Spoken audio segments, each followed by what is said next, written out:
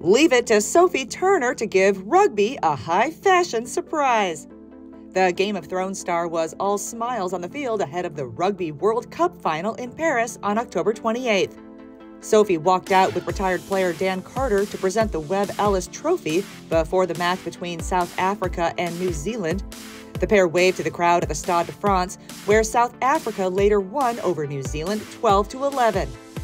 Though many fans on social media were confused why the actress was on hand to unveil the cup, others were quick to point out that her role as a Louis Vuitton ambassador alongside World Cup champ Dan actually made the pair an ideal choice since the trophy was cased in a signature trunk from the luxury brand.